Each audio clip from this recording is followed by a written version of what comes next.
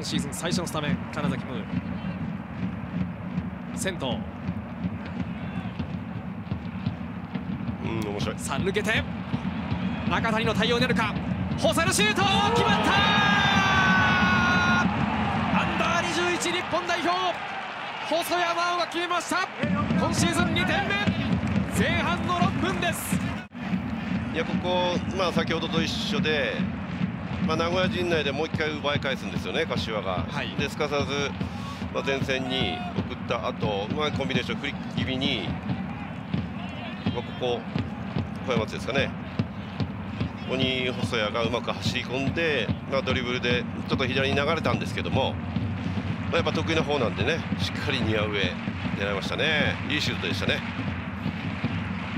しかもユースの先輩の中谷をはい。置き去りにしました、いいこう中谷からの離れ方しましたね、ドリブルのコース。